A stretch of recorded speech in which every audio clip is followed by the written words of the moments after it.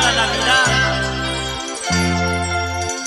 Y vamos todos unidos, grandes, chicos, ricos y pobres, al portal de Belén a ver el nacimiento del niño Jesús.